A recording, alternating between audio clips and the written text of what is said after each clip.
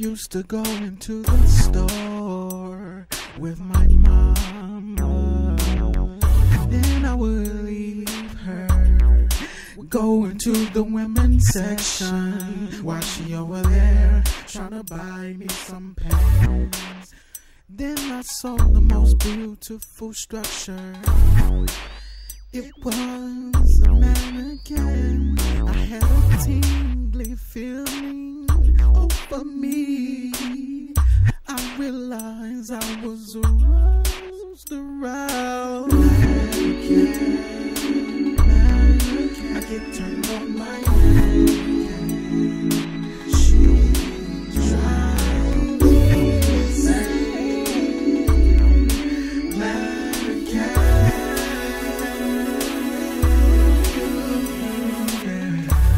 to the voodoo doctor and ask for a spell so I can cast on her to make her real, to complete my fantasy.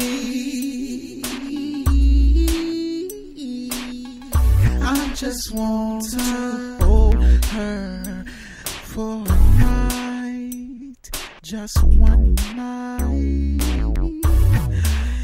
It's just a figment of my imagination. My imagination.